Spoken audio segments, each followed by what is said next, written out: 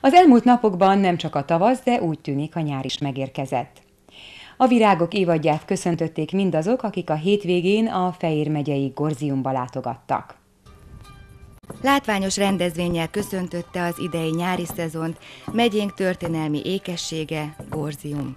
Az immár hagyományosan megtartott virágünnep, a florália, még soha ennyi vendéget nem vonzott az ókort idéző, itáliai hangulatú romvárosba. A Fejér megyei múzeumok igazgatósága munkatársai stílszerű programokkal várták az ide látogatókat.